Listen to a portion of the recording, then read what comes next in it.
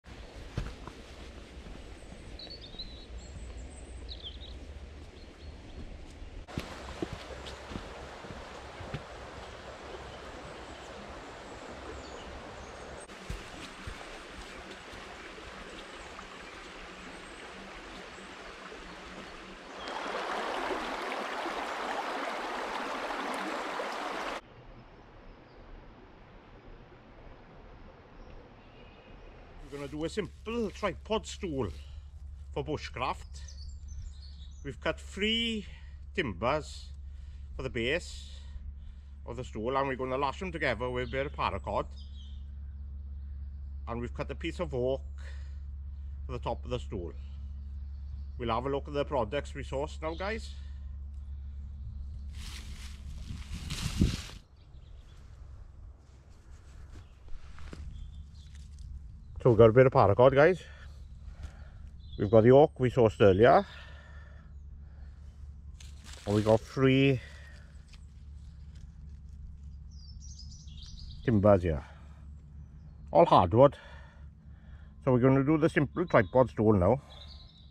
I'll ash them together with the paracord, the tripod for the base now.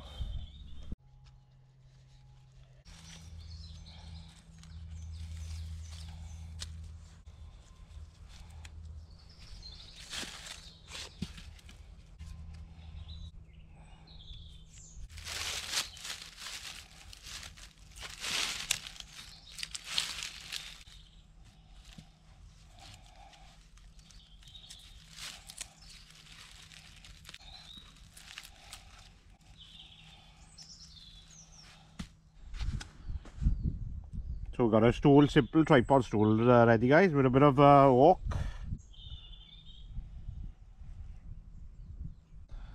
Tripod style. Pretty solid.